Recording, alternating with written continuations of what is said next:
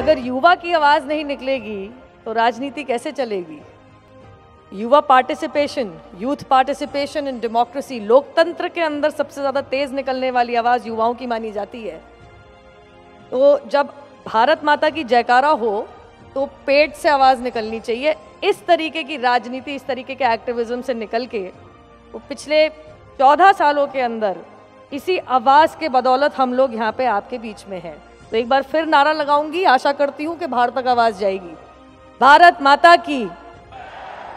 भारत माता की। भारत माता की।